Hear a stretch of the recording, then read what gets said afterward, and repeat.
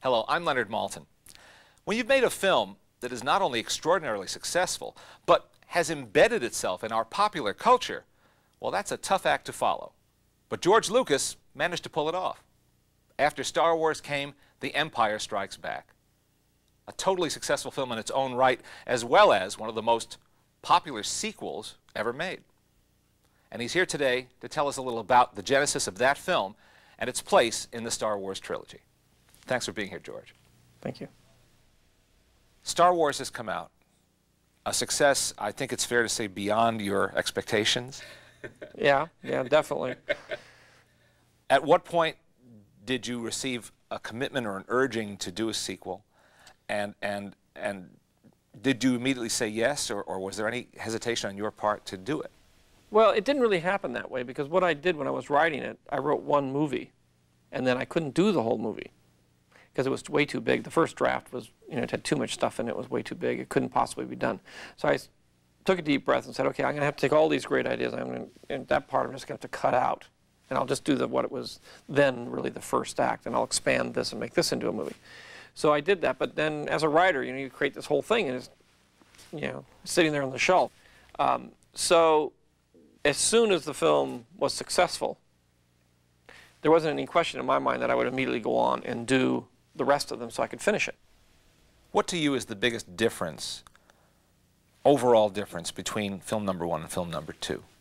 Well, um, the biggest problem I was grappling with in film number two is the fact that it's the middle act of a three-act play. Now, some people find it a darker film than the first. It is a darker film because in the first act you introduce everybody. The second act, you put them in the worst possible position they can ever get into in their lives, and it's every, you know, and they're in a black hole, never able to get out. And in the third act, they get out. That's just, again, that's drama. That's the way it works. You don't have an exuberant, happy second act. What was the biggest technological advance between the making of one and the making of two? Well, there wasn't really too much of a technology. We, we refined what we had primarily, but there wasn't any giant techno. The major technological break was in one, and that was using um, you know, uh, motion control cameras and that sort of thing to allow the ships to be able to move freely and that sort of thing. That was the big advance. Everything after that was um, we were able to do more stop motion. I was able to do a lot more things. They weren't really technological advances, but I was able to get a lot more into stop motion, which I couldn't do before, and um, uh, you know, generally have uh, a bigger scope to things than I could do before. So, if the first film was a, a, a technological challenge to get ships to fly in space with a lot of that movement. The second one was to do a stop motion movie. How did you choose or, or get together with Frank Oz to, to be Yoda? When I created Yoda, I said I want him to be really, really small, uh, but not you know six feet. I want him, you know be about 18 inches, two feet high. And to do that, I said, well, what am I going to do? And how am I going to get a character? And what, you know, what am I going to do? Whenever I'm creating one of these films, I mean, I have my imagination. And if I were a novelist, I could just write it and I wouldn't have to think about it.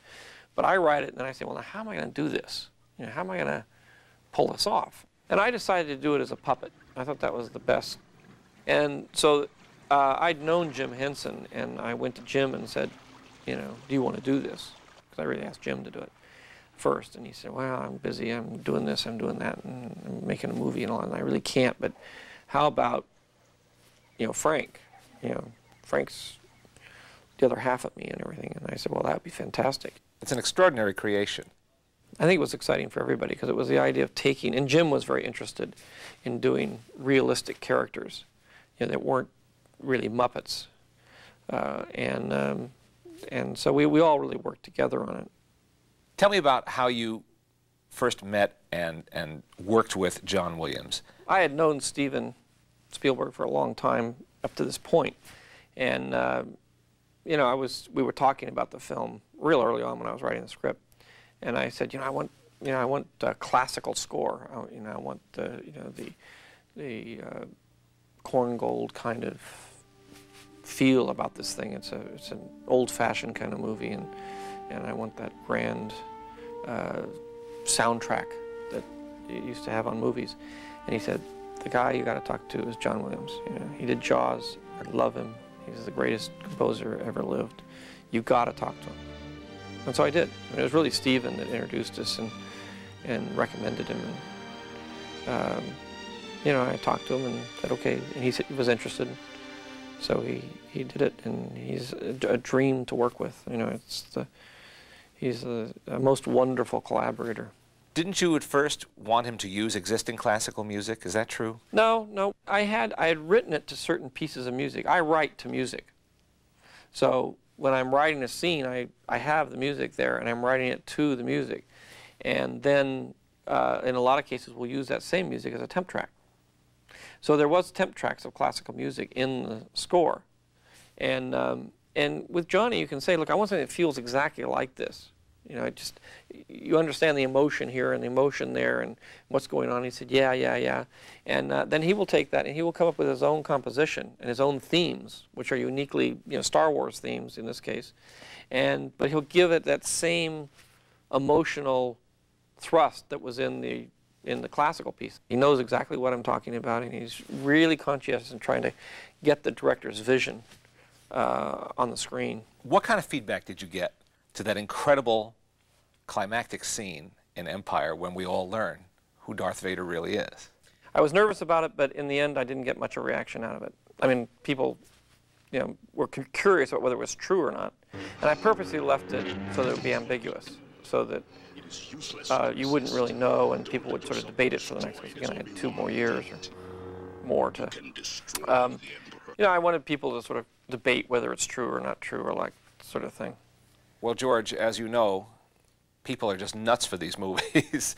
and to learn so much about them and what went into them and what inspired you is, is a real treat.